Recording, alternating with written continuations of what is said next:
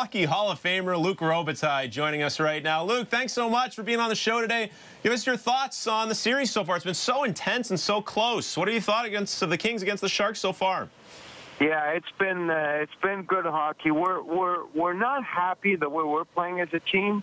We feel uh, we definitely can be better, but uh, we're kind of used to those one goal games as a team. It's the way we've played the last couple years, and uh, you know, like uh, I think uh, if we can get a couple guys that just start picking up a little bit the pace, uh, we think uh, our chances are really good.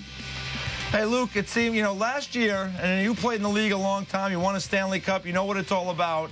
Last year, the LA Kings, everything went right, and you kind of got through in short fashion. Uh, five, uh, five games the first round, four games the second round, five games the third round, and then six in the final. This year, six tough games the first round, and now you're locked 2-2 here. This is definitely, you know, you guys, I think, can still get there, but this is definitely looks like it's going to be a tougher road.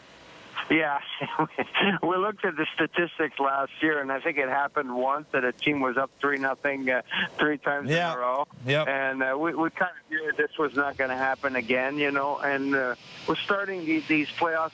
You kind of knew too, like every team was going to be ready for us. We're not going to surprise anybody, and uh, so that being said we kind of know the team that we have. We're, we feel we have a team that's built to perform real well in the playoffs and uh, we have a lot of big guys, and we're okay with playing long series. I mean, we. Uh, it's pretty. You're pretty fortunate when, as an organization, you're sitting, you're suddenly up three nothing. But keep in mind, last year most of those games were one-goal games also, and you never know one-goal game. All it takes is it hit one stick, or or the referee blows a whistle a little early, like last game, and the game is different, and suddenly it's two-two. You know.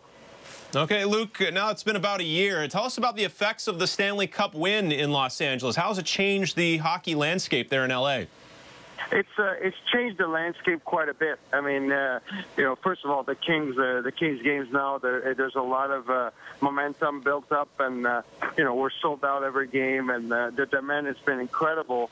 But uh, even outside, like I mean, you look at TV ratings have doubled. There's a lot of stuff going on around it. So, and uh, you look at uh, what we're doing with the kids playing hockey. I mean, every rink is sold out. And if we could build another 10 rinks, I think they would be sold out. So it's uh, it's been quite exciting around here. Hey, Luc. uh, how about the, the idea of the hockey in, the, in California with uh, these two teams? We almost had Ducks and Kings. Ducks let us down on that one, but uh, it seems like that, that that's exciting when you get those California teams playing. Yeah, it's been pretty neat. I think you, you look at all three teams uh, in California, and we kind of were over time. We've been built the same way, mm-hmm. uh, where you know through the draft, where we have some really good young special players, and uh, you know Dean Lombardi was in San Jose, and he built that team. And Doug Wilson's done a tremendous job at keeping it intact and getting players where they, they contend every year. And and you look at uh, what happened in Anaheim, where you know they got Getzlaf and Perry, and then they built the team around that. And you look at us, it's the same, and that's why I think every year right now it's pretty amazing where you get all three teams in the playoffs when you consider how hard it is to make the playoffs. Luc, thank you so much for joining us. Enjoy the game tonight. Yeah, good luck, Luc. All right, guys. It's great talking to you. Okay, bye-bye.